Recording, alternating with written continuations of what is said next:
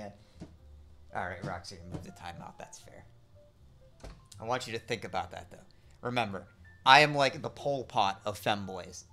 This is not a democracy. This is a dictatorship. Ooh woo. Oh, and what you asked how long I go? I usually go for like four hours. Sometimes if I'm really having fun, I go for like five. There's a shot for downloading streams in progress. You get to stream up to a point where you start downloading. Oh, really?